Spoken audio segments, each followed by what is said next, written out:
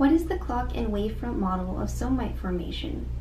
It's a symphony of many various factors that occur during development that controls somite formation using a segmentation clock. Well, what does that really mean?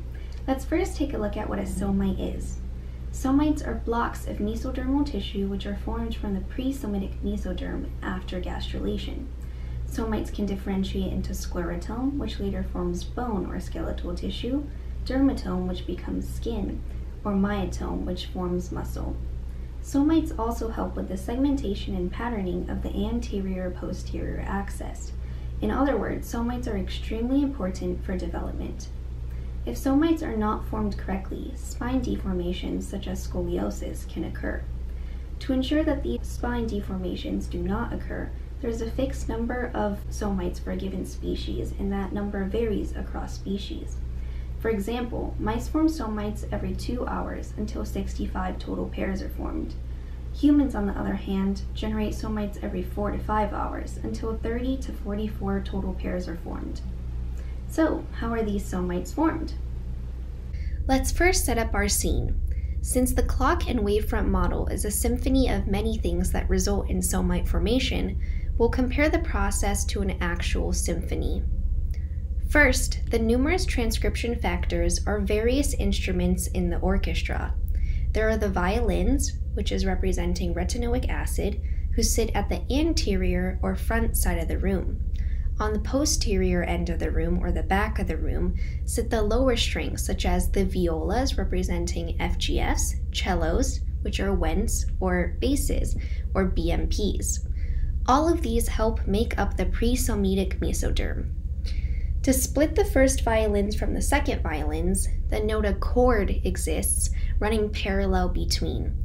When the various musicians play, the sound from each instrument is louder as you are closer to the instrument, and the sound decreases as you get further away. If we stood in the anterior side of the room, we'd basically just hear violins.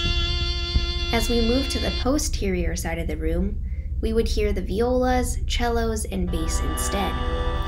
The intersection between these sounds overlapping, where softer volumes of all instruments can be heard, is what we will call the determination wavefront. But with just the musicians, beautiful music, or somites, can't really form. That's because every orchestra has a conductor. Our conductor will be named node and stem zone. The conductor is actually the cyclical expression of many genes, including notch signaling. Since our conductor is amazing, it circles the room to ensure that the musicians are playing when they should be. The conductor is maintaining the rhythm or beat for the musicians. It is the pacemaker of the orchestra, or of somite formation. Every time the conductor walks in front of the determination wavefront, music or somites are created. The music is the representation of somites since it is the creation of many instruments representing transcription factors along with their gradients and many other things. The rate at which the conductor circles the room varies based on the species, resulting in various numbers of somite pairs. Let's add another layer to this scene. As the musicians play, the room they're in starts to elongate from the posterior end. Remember that the room represents the anterior posterior axis. As the posterior side of the room grows, the determination wavefront, which is where the instrument sounds are overlapping, begins moving towards the posterior side as well. The process of producing somites explained above is still occurring, but the growth of the room results in the size of somites to change since it takes longer for the conductor to circle around.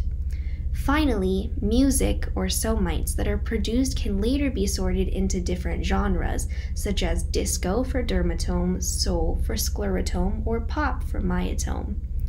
With this simple symphony analogy, I hope you were able to get a better sense of how somite formation occurs in vertebrates and how complicated and necessary each player is in the clock and wavefront model of somite formation. Thank you.